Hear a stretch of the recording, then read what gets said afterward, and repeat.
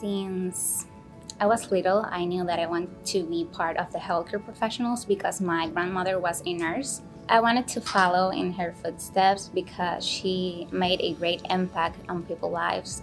Her patients to her was like her extended family.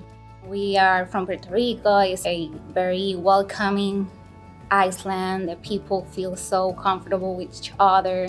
They're so loving in the in the community. Moving to Florida was a really big change in my life.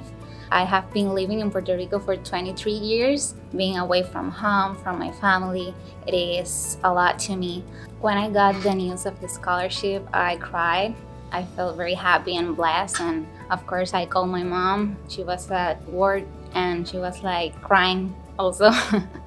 it really means a lot to me. It really means like a confirmation that I belong in this place. Dr. Bob, you are such a blessing in my life. You are making a great impact in my educational path right now.